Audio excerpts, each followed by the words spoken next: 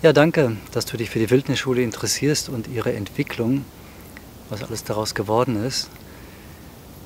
Und vorab sage ich einen großen Dank an die Menschen, die mich gelehrt haben. Es waren viele im Laufe der Jahrzehnte. Und einen großen Dank auch an die Menschen, die es überhaupt möglich gemacht haben, diese Wildnisschule zu gründen. Ja, wie kam es überhaupt dazu, dass ich die Wildnisschule gegründet habe? Ich kann mich noch genau erinnern an den Moment, wie ich über den Irschenberg fahre und das weite Chiemgau sehe. Ich komme gerade von der Ausbildung Wildnispädagogik, habe mein Zertifikat und es war wie so ein Ruf, in Pfingsten das nächste Camp hier zu machen. Das erste Camp im Chiemgau und es war, hat mich so erfüllt, es hat mich so begeistert und so habe ich es dann auch gemacht. Und auf magische Art und Weise ist dann auch der Platz zu mir gekommen, wo wir heute immer noch sind, am Jenbach. Und da auch nochmal einen großen Dank an den Bauern, der mich bis heute unterstützt und dieses Feld für mich hält. Wenn ich, wenn ich zurückschaue auf die vielen Jahre, dann kann ich heute sagen, dass das eine Vision war. Es war ein Auftrag, hier im Chiemgau hm, Menschen dieses Wissen, die Naturverbindung, wieder näher zu bringen. Ich bezeichne es das Wissen der Naturvölker, weil es etwas ist, was in allen Menschen drinsteckt. Wir sind Teil von Mutter Erde und hier im europäischen Raum haben wir es weitgehend vergessen. Ich hatte die erste Zeit mit Kinderkursen in den Ferien angefangen. Pfingsten, in Sommerferien Angebote. Und ich habe gemerkt, dass es eine große Begeisterung war, großes Interesse. Ich habe immer mehr Kurse angeboten und bei mir selber gemerkt, was es mit mir macht, was für eine Freude, diese Begeisterung, das weiterzugeben. Und ich habe gesehen, was es bei den Menschen macht, wie sie sich verändern, wie die Kinder sich verändern. Nur fünf Tage an diesem wunderbaren Platz in der Natur und sie waren wie ausgewechselt. Und das hat mich getrieben, weiterzumachen. Und dann kamen die Erwachsenen, die sagten, ja, können wir auch mal. Und so entstanden dann Familiencamps. Und im Laufe der Jahre ist immer mehr dazugekommen. Also zu dem Ferienprogramm gab es dann eine Anfrage ja, unter der Woche mit Schulklassen. Und so kamen die, die Schulklassen mal einen halben Tag, mal einen Tag und haben sich getraut zu übernachten. Und jetzt bleiben sie einfach fünf Tage draußen in der Natur. Und die Lehrer sind so begeistert, weil sie ihre Kinder aus einem anderen Blickwinkel betrachten können und sie erleben, fast schon automatisch, wie wir mit den Kindern umgehen. Das ist eine Form des Lehrens, wie es immer üblich war. Wir nennen das Mentoring, Coyote Teaching. Ja, das natürliche Lernen. Und da steckt wiederum die Lehre an und die wollen mehr davon. Ja, die Kinder werden größer, Jugendliche, das heißt, wir müssten auch andere Programme für Jugendliche machen. Und da habe ich gemerkt, ich musste als Mentor, als Lehrer voll dieses Coyote-Mentoring, was ich gerade gelernt hatte, auch bei mir verinnerlichen. Nur so war es mir möglich, überhaupt die Jugendlichen äh, zu bekommen, zu begeistern. Ja? Aus dieser Null-Bock-Stimmung heraus in die Aktion. Über die Jahre ist da jetzt ein, eine Gruppe Jugendlicher herangewachsen, die jedes Jahr kommen, die, die einen Kurs nach dem anderen gemacht haben. Und ich kann sagen, wo die heute stehen, das ist für mich einfach großartig.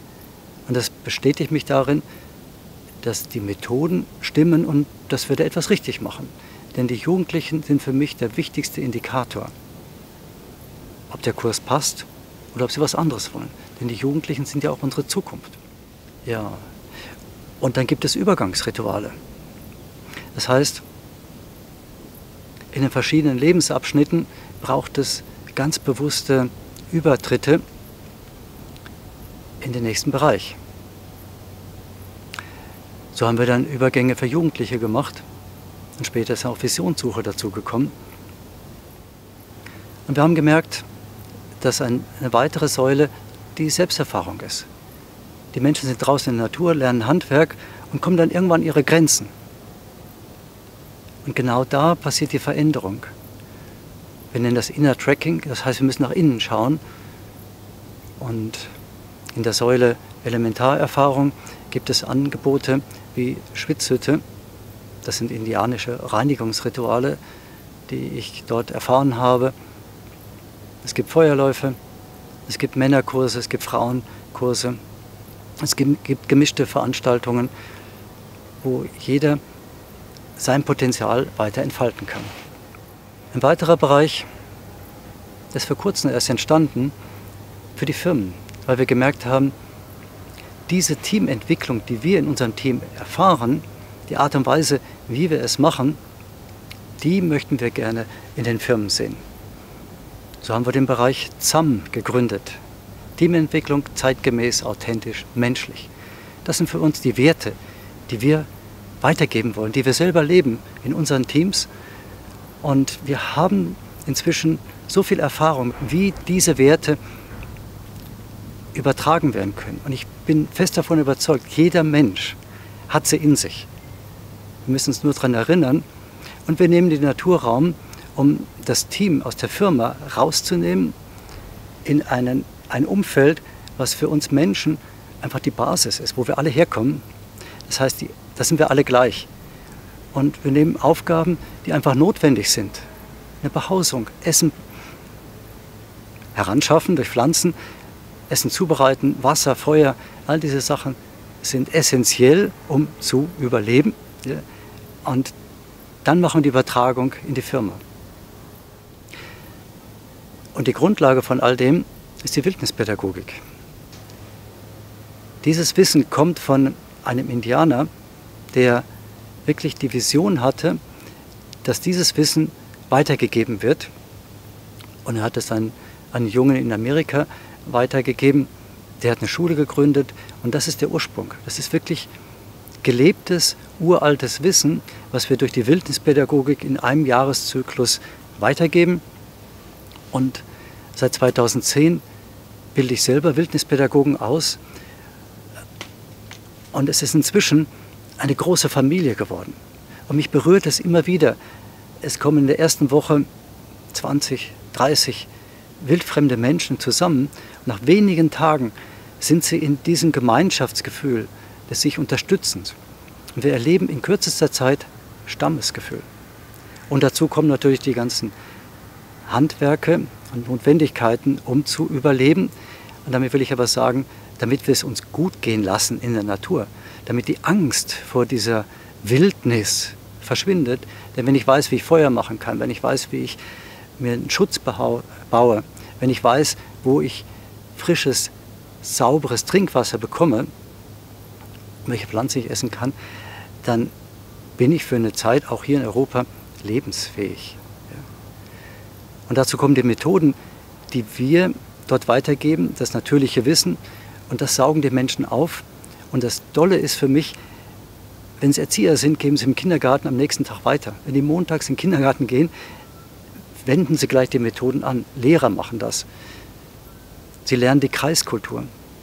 Ja, das sind alles diese Werkzeuge, die ich im Laufe der Jahre, Jahrzehnte von verschiedenen Menschen bekommen habe und in meiner Wildnisschule weitergebe.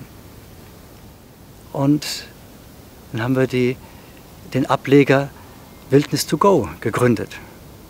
Da gibt es einen Anhänger, der ist ausgerüstet und da kann man überall dort hinfahren, wo Natur ist, wo die Menschen uns haben wollen, das Wissen haben wollen.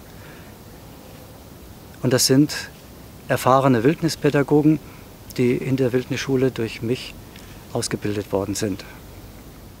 Und was all diese Säulen verbindet und all die Säulen gemeinsam haben, sind die Grundlagen des Friedens, die Friedensstifterprinzipien. Das ist etwas, was ich über meinen Mentor John Young gehört habe und er wiederum von den Irokesen. Das ist ein, ein Wissen, was seit Jahrhunderten gehütet wird und weitergegeben. Und das ist für uns die Basis, die Art und Weise, wie wir miteinander sprechen, dieses Grundrecht auf Frieden. Wer das akzeptiert, der ist gleich in einem anderen Umgang mit der Natur und mit seinen Mitmenschen. Ja, und diese guten Worte und vor allen Dingen Unity. Unity, also Einigkeit, ist auf dieser Basis sehr schnell möglich und schafft ein, eine, eine Magie. Ja. ja, jetzt haben wir die Säulen Ferienprogramme. Dann gibt es noch Handwerk, das gehört einfach selbstverständlich dazu. Die Wildnispädagogik, Selbsterfahrung, Angebote für Firmen, Wildnis to go, rausgehen mit dem Wissen und die Friedensstifterprinzipien Unity in Peace. So weit ist es gekommen in den Jahren und ich bin wirklich sehr, sehr glücklich, dass es immer größer wird. Das Aufbauen der Wildnisschule ist nicht immer ganz glatt gegangen. Es gab da auch Widerstände und die Frage ist, wie gehe ich mit Widerständen um? So wie ich es in der Natur gelernt habe. Wenn ein Widerstand da ist, wenn es irgendwo nicht weitergeht, dann heißt es Stopp für mich. Und so habe ich es auch mit den Menschen gemacht, die hm, das nicht so toll fanden, was ich da im Jenbach mache. Und habe mich mit ihnen zusammengesetzt und habe gefragt, was braucht ihr denn? Wo klemmt es denn? Wo stört es denn? Was können wir verändern? Und wir haben immer wieder was Gemeinsames gefunden, sodass derjenige und ich und wir zufrieden waren. Und so gehe ich immer wieder vor. Wenn es einen Widerstand gibt, stopp, hier geht es nicht weiter, was braucht's? Und da sehe ich dann das große Ganze, was braucht es für die Vision? Und damit bekomme ich immer wieder Antworten. Und das zeigt mir wirklich, dass dieser Weg weitergegangen werden will. Ja, was ist mein Highlight in den vielen Jahren? Und da könnte ich viele Highlights aufzählen. Aber wenn ich nur eins nehmen sollte, dann sind es die wilden Familien. Wir machen das eine Woche und ich erlebe da wirklich uns wieder als Stamm. Das ist das, wonach ich mich gesehnt habe. Dieses Lachen der Kinder, diese Zufriedenheit. Ähm, und in der wilden Familie, da haben wir teilweise 70, 80, 90 Menschen. Jeden Alters, vom Baby angefangen bis zur Ältesten. Und da erlebe ich, dass Stammesleben möglich ist. Wie die Kinder die Kleineren wieder lehren, wie sie auf sie aufpassen. Und das macht mich einfach glücklich. Wenn ich daran denke, ähm, jubelt mein Herz. Wir leben dort als Gemeinschaft und die Menschen spüren das sofort. Wir wenden die Friedensstifterprinzipien an und dadurch entsteht Frieden. Denn Frieden ist nichts, was man lernen kann, sondern Frieden entsteht durch eine bestimmte Haltung, durch Werte, die wir vermitteln. Und wir sind ein starkes Team von Wildnispädagogen, die diese Werte leben. Und dadurch, so bauen wir diese Woche auf. Und was daran entsteht, ist wie Magie. Wir sehen es an den Jugendlichen. Da gibt es Jugendliche, die immer wieder kommen wollen. Und das ist für mich ganz was Besonderes. Weil inzwischen ist da ein Wandel passiert und sie sind sozusagen die Säule des Stammes geworden. Weil sie sind physisch gesehen in der Entwicklungsphase, wo sie einfach tun wollen, tun wollen, was sie sich erleben wollen. Und wenn dieses, diese Kraft dann für den Stamm eingesetzt wird, für uns, auf die Kinder zu achten, fürs Essen zu sorgen, fürs Holz zu sorgen, dann haben wir alle was davon und sie fühlen sich gesehen. Und ich sehe immer wieder, dass die Menschen so glücklich vom Platz gehen. Das gilt für fast alle Kurse. Sie nehmen so viel mit, das verändert ihr Leben. Meine Bilder für die Zukunft sind ganz klar. Tragfähige Netzwerke des Friedens. Wir erleben in den Kursen Frieden. Ich habe gerade von der wilden Familie gesprochen, da am deutlichsten. Diese Kreise zu stärken, die Gemeinschaft leben wollen. Die zu stärken, dass sie friedvoll leben. Und wenn ich mir dann vorstelle, da gibt es eine Gemeinschaft, die auf ihre Art und Weise zufrieden ist, und da gibt es die nächste Gemeinschaft, die treffen sich und begegnen sich eben mit diesen Friedensstifter-Prinzipien, dass sie sich gegenseitig respektieren und neugierig schauen, was macht der andere. Die tragfähigen Netzwerke des Friedens fangen schon in der Familie an.